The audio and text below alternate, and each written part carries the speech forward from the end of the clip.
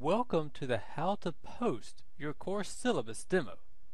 In this demo, you will learn how to post your syllabus in your D2L Brightspace course.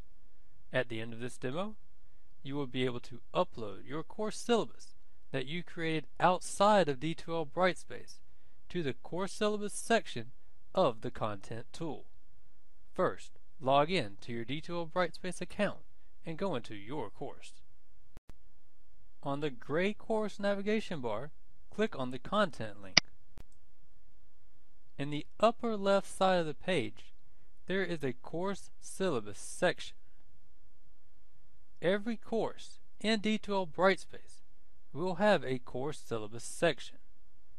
The course syllabus is where the course department syllabi should be placed.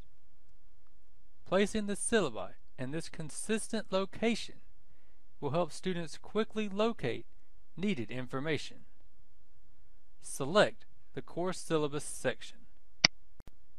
Click on the Add Attachment link or on the drop-down menu next to Course Syllabus and choose Add an Attachment.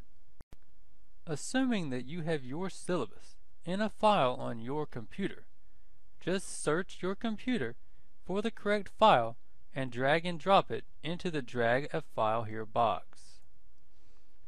As you bring the file over the box, the dashed lines around the box will appear colored. Drop it there. If you prefer, you can upload the file using the drop-down triangle to the right of the words course syllabus. You will be able to see this file immediately. It is automatically saved. Notice the print button on the top right, which makes it easy to print. Students are also able to download a copy of this file to their computer by clicking on the download icon at the bottom right side of the viewer. You have now successfully posted your course syllabus.